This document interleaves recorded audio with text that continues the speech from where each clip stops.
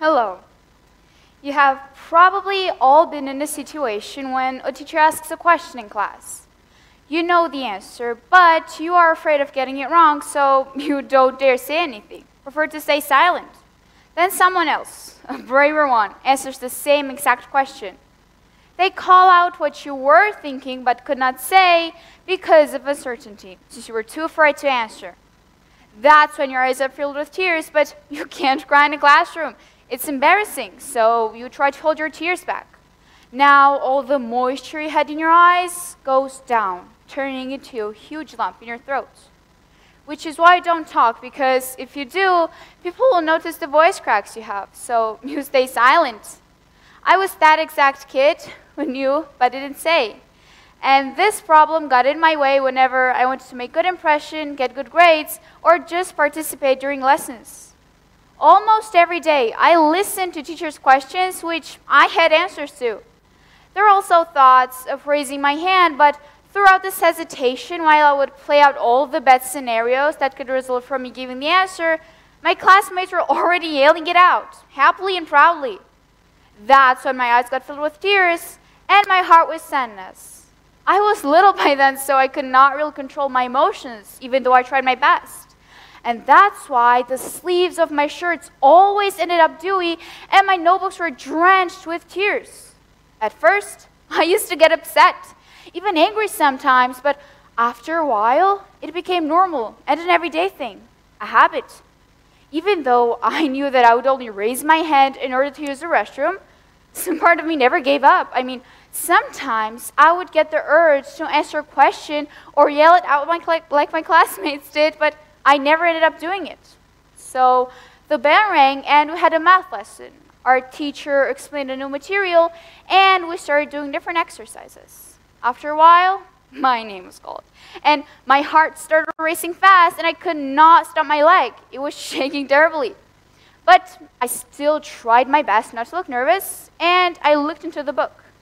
I was reading slowly, quietly, and in a fearful voice.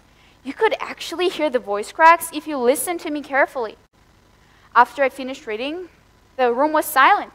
Everyone was waiting for me to answer the simplest question. The environment was extremely confusing. The teacher was looking at me angrily, and the students were proudly and mockingly raising their hands were eagerly waiting my wrong answer. Or they thought that I would get it wrong. But suddenly, and really unexpectedly, a huge wave of excitement just hit me. I knew the answer and I was 100% certain that it would be correct. So I straightened up confidently, and you can see the happiness and joy in my eyes. I was about to answer when all of a sudden my classmate yelled out. I got terribly angry, but I couldn't do anything. After the lesson, my classmate was rewarded with a sticker. All I got was a look of reproach. According to my teacher, it took too long for me to come up with an answer. And ever since that day, I hated mathematics. And soon, this problem started affecting all my grades, which I was really nervous about. Obviously, my mother noticed that, so we all together jointly decided to get a math tutor for me. I was being tutored for about a year or so, and happily the hard work paid off. I started raising my hand. Obviously, a lot of students made mistakes, including me. But I realized that making mistakes was normal and school was there to teach and develop us. This realization was the best feeling, but sadly, it did not last long. COVID pandemic began and schools got shut down, so we started online learning. By that time, I thought that this would have been the best opportunity for me to gain confidence, but I couldn't have been more wrong. After a year, in-person classes resumed, but with a little change, we had to wear masks, and that's when my problems began. I got so used to wearing this mask that I refused to take it off. This was my defense mechanism and my comfort zone, which I did not want to leave. I actually remember I stopped eating at school because I had to take my mask off, and that was the least thing I wanted to do. I also realized how hard it was for me to communicate with people. Have a simple conversation or a dialogue. Talk about a lesson that we had, or just raise my hand and answer a question in class. And I realized that I was going back in time when I was afraid to put my hand up, fearing not to be wrong. This caused other problems such as bad comments from teachers and low grades. I did not want to take the same route and go through the same again. One day, in eighth grade, our teacher assigned us to make presentations. I was not happy with the news. The idea of giving a presentation scared me a little, but I would somehow manage to speak in front of like 15 people. But I was not delighted with the news either. But you see, that's where I was wrong because the number of audience we had to present of was 100 people, and 100 was a huge number. I was just too stunned to speak, and you could see the shock on my face. I had just heard the news, and I was already stressing out.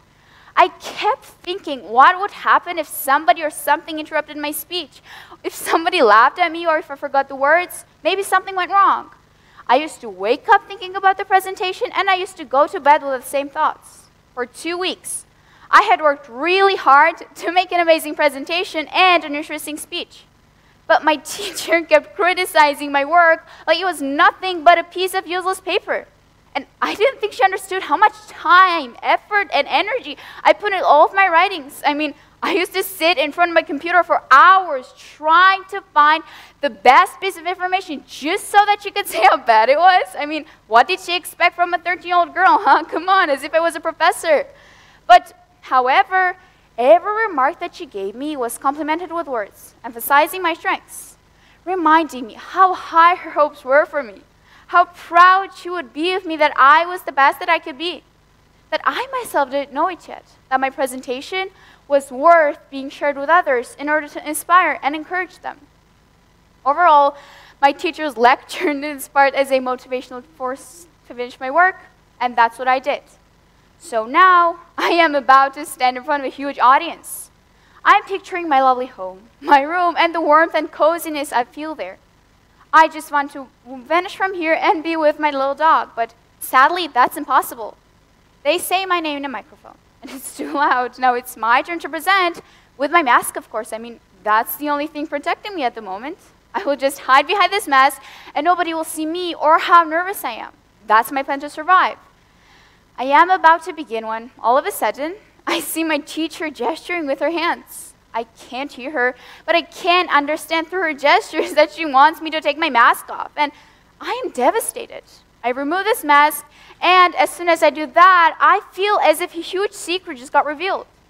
I really want to cry, but I can't. I really want to leave the room and just go home, but I can't do that either, so I do the only thing possible and suitable for the moment. I start talking. At first, I skipped some sentences, rambled, missed a few words, and I forgot about a whole paragraph. But I kept talking and I was getting angry with myself. I mean, what was I even afraid of? Suddenly, I can notice my teacher looking at me proudly. She is listening, but not only her, the audience too. They are listening and they seem to like what I have to say. After a while, it got better. I became more confident. After the presentation, I was exhausted but happy. I felt proud of myself and I could not recognize myself. I felt as if I was capable of achieving way more than I might have imagined before. You think I'm comfortable now? I mean, this is just another challenge and a new episode of my story. But I realize that I have to work on my shyness and fears in order to grow. We should not give up on our dreams because our different phobias that we may have. It is time to make our voice heard. I know that I can, and I know that you can too. All you need is to believe in yourself. Thank you.